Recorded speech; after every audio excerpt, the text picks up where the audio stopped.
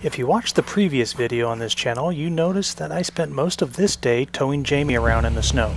Jamie was feeling a little insecure because he hasn't been able to tow me out yet, so I figured I'd go ahead and get her high centered and see what he could do. As you will see, that decision turned out to be a costly one, as we will spend the next several hours trying to solve our new problem. What happened? Did you break your drive line? I think it just uh, popped out.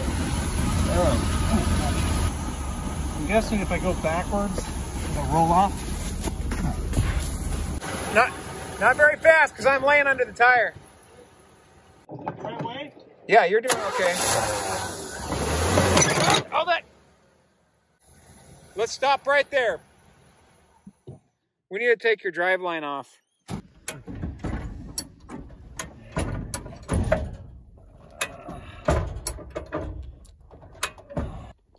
So the story is that is supposed to be attached to that. And it's not. I don't think those spurs will cause a problem at all. It's like it's it's like this male part's too big for the female. Think you can get out and just rear wheel? Probably not. Probably.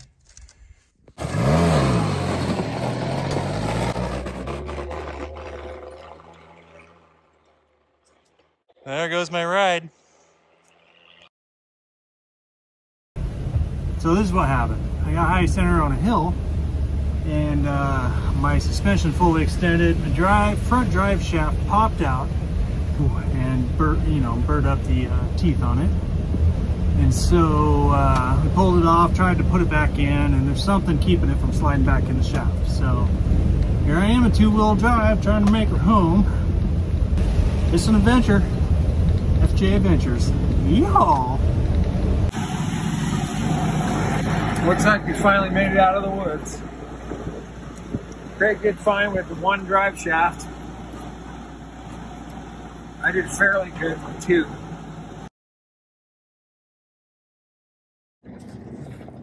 After we got the rigs loaded back up, we spent about 45 minutes driving to the nearest auto parts store in Yakima, Washington.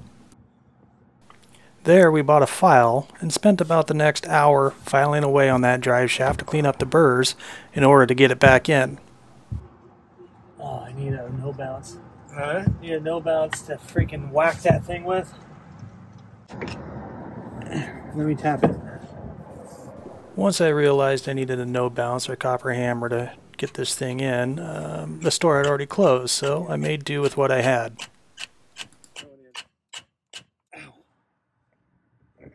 There we go. Okay, let me go grab the screws. Okay. Hopefully I didn't leave them up in the snow. Oh.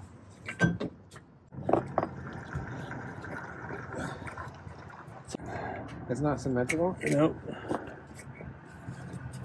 You gotta rotate it. I think we gotta take the other one off. Oh. I think it's off 90 degrees. Okay, Oh, yeah. a little better. Mu- Oh. Trail fix.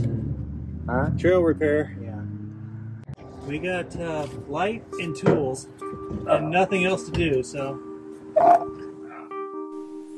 We used a little bit of that time to install a new fuel regulator in Jamie's Willys in preparation for day two of our adventure. In our next video, we'll show you what happens.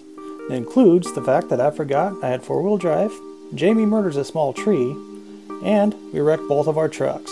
So stay tuned. We'll see you next time.